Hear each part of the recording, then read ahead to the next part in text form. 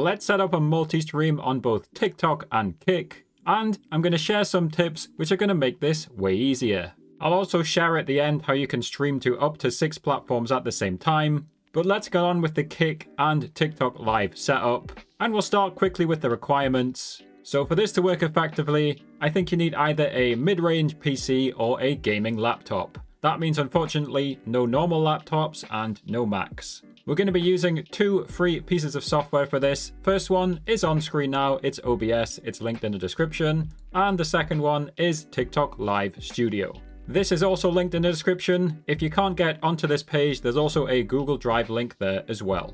Now at this stage, if you have Live Studio open already, please close it down. And that's because OBS is going to need access to your camera. Anyway, let's start with the OBS setup and you can ignore any setup dialog because we're going to do it ourselves. Let's click on a profile at the top, click on new and give it a name, just something like kick and run the auto configuration wizard. We're going to optimize it for streaming, recording is secondary, and 1920 by 1080 and 60 FPS, and we'll press next. And then we're going to change the service from Twitch to custom. Next up, we need our URL and stream key, and I've linked this page in the description. So of course, we're going to start by copying the URL into the box that OBS is asking for, and we're going to do exactly the same thing for our stream key. So I'll just quickly do that. We definitely want to prefer hardware encoding I'm going to untick estimate bitrate and we're going to manually set the bitrate here to 6000. Once we've done that, we press next and we review the settings. If you follow those steps, should give you some solid settings, so just apply them. Next up, I'm going to go scene collection, new, and I'll just call them kick scenes. I need to spell it correct, and we just press OK. And we should now have a completely blank box here and here. Now, part of the magic of OBS is this start virtual camera button here. And this is going to let us use our camera on both OBS and Live Studio. Or if you're using landscape mode on Live Studio, you can just show your entire kick stream on TikTok. Anyway, let's quickly set up a basic scene. I'm going to call this one gameplay. I'm going to right click this one and rename it to gameplay. And now we need to add our sources like our camera and display. So very quickly underneath sources, I just press the plus button. We start with the display capture, rename it if you want, press OK, and then just find the correct display and press OK again. Don't worry about the mirror effect, that's just because I've got OBS on the same screen. Let's add our camera now by pressing the plus button, click on video capture device, I'll rename mine to camera, I'll press OK, and I just need to find my camera from the list. Here I am. I need to change a few settings because it doesn't put us in 1080p by default. So custom resolution, and we'll change the resolution to 1080p. We'll change the FPS to 60, which is the highest possible, and the other settings should be fine. So I'll press OK, and now you can see I've got my full screen camera. Of course, I don't actually want it full screen, so I'm just going to drag the corner down, and I'm going to right click, transform, and center it vertically, which puts it right in the middle of the screen.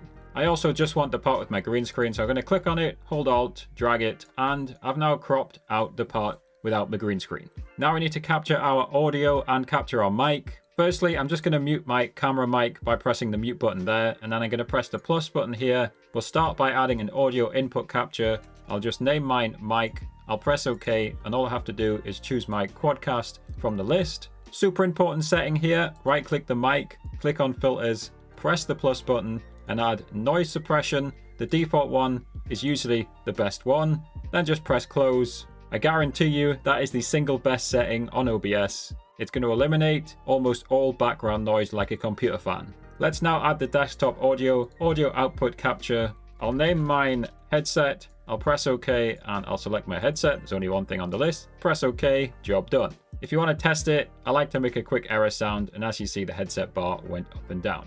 At this stage, you could just press the start streaming button and you're live on Kick. However, we do want some alerts to show follows, subs, etc. For that, I recommend Botrix, which is linked in the description. Just choose any sign-in method. It doesn't let you sign in with Kick, but that's fine because you just go on the profile page and you can see I've already connected my account, but Botrix will guide you through the setup process. You'll typically have to moderate Botrix on your Kick channel. Once you have Botrix set up, we have to click onto the alerts page and what you want to do is copy the widget URL here and back here on OBS under sources press the plus button, click on browser, type in something like kick alerts Press OK and then just paste in the link. The default dimensions should be fine. I'm going to shut down source when not visible and press OK.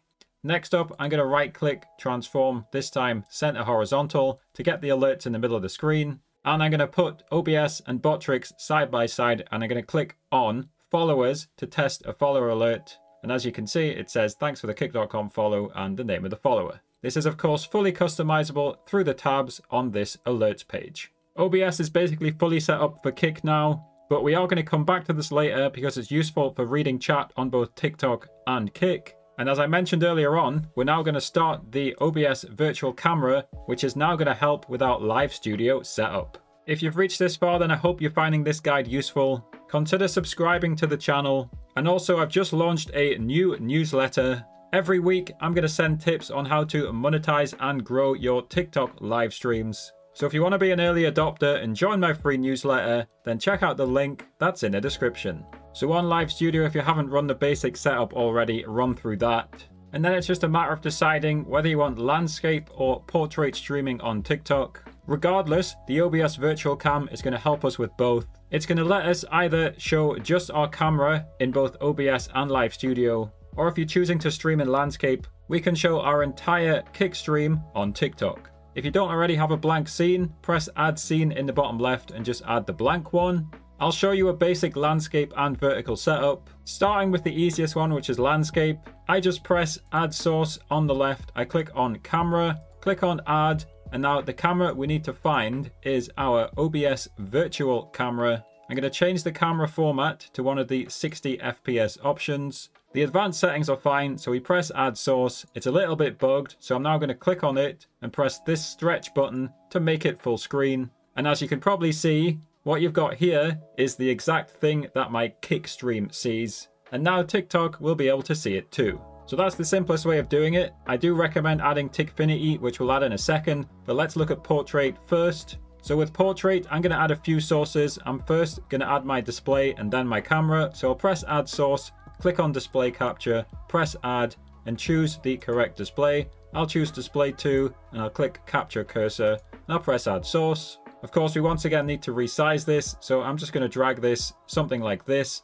Now we're going to add the camera, so I'll press add source again, click on camera, and the camera once again is our OBS virtual camera. So let's choose it from the list, OBS virtual camera, set it to the maximum FPS, which is 60, press add source, Little bit confusing because it's kind of inside itself, but I'm going to click on it, drag it up, and crucially I'm now going to hold the Alt button to crop it a little bit. I'm really small right now, so I'll now unleash Alt and drag myself, and I'm going to quickly keep holding Alt and keep dragging until I've got just the camera, something like that. And as you can see, TikTok Live Studio right now is sadly bugged and is not holding the aspect ratio. So I have to just keep dragging it around until I think the aspect ratio is back to normal, something like that. I'm also going to click back onto my display, drag it to the bottom and then center it like that. And as you can see, I've now got a basic vertical setup.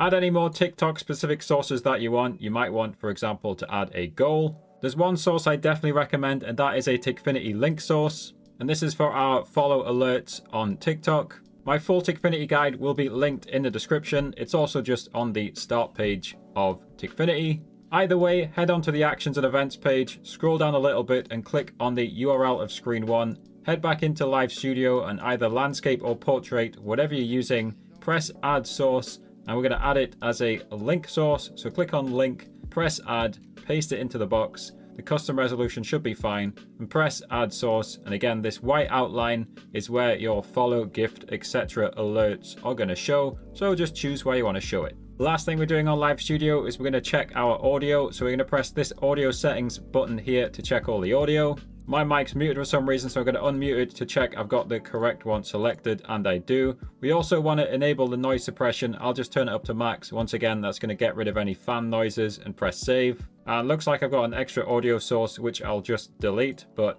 looks like the Cloud Wireless is the correct audio. And once you're happy it's got the correct speakers and the correct microphone, just close the audio settings. So we should now have a nice looking setup on both OBS and Live Studio. You would be definitely ready to go live now. You just press start streaming here and the red start streaming button on Live Studio. But here's a fun little hack to make reading the chats easier. And for this one, we're using the docks feature here on OBS. So I'm going to click on docks at the top and into custom browser docks. You can see I've got quite a few. Yours is probably blank. What you want to do is add your kick chat. So just name it kick chat and then it's kick.com slash your username slash chat room, all one word. And then I do have one which says TikTok chat here, but I'm going to call this one TikFinity chat because this one's even better and the other one doesn't really work half the time. So I'll name it TikFinity chat and we click onto TikFinity, click into the overlay gallery and then just copy the URL of the chat here. We can press test to see what it looks like. If you don't like the way it looks, press customize.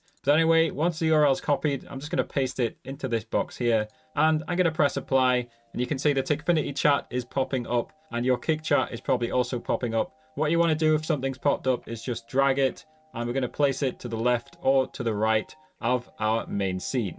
If nothing is showing, click on docks. I need to get my kick chat up as well. So there it is. I'm actually going to drag it out and then place it carefully here. You often do have to fiddle around with it a little bit. So keep fiddling around with it until you've got it something like this. If I quickly go on TikFinity again, spam the test button, you can see the chat is now showing. Again, I'm actually going to have to modify the color of the text, but as you can see, we now have our Kick chat and TikTok chat nicely in the same place. If you actually want to log into Kick, just change the custom dock here. Just change it to something like kick.com. Click onto the login page and log in, and then change it back to this link here, and then you can actually moderate your chat through OBS. Unfortunately, you can't do that from TikTok. But anyway, with that set up, you are now definitely ready to go live on both Kick and TikTok. Now, I mentioned going live on even more platforms earlier on, and I actually stream to six platforms, and for that, I use Streamlabs Ultra, which is paid software.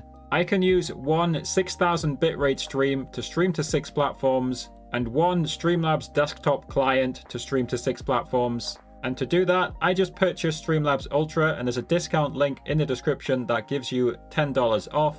And all I did with Streamlabs Ultra, I went onto the setup page, onto the stream page, and I linked all my different accounts, including adding my Kick stream key and server link. After that with Streamlabs, all you do is click on virtual webcam, start the virtual webcam, and this is the same as the OBS virtual cam. You then go into Live Studio, click on add source, click on camera, press add, and instead of adding the OBS virtual camera, we now add the Streamlabs desktop virtual camera, once again set it to 60 FPS, add source, it's ridiculously small, we click on it, expand it, and I've accidentally set Streamlabs to the wrong screen, but as you can see, it's now showing me everything on Streamlabs on my live studio.